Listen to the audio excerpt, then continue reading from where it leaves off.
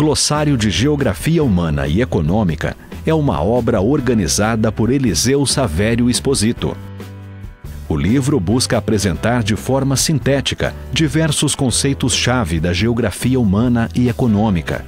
O objetivo é ser um ponto de partida para quem deseja realizar estudos mais aprofundados. São 41 verbetes que problematizam essas subáreas da geografia e dialogam com outras ciências, como a sociologia e a antropologia.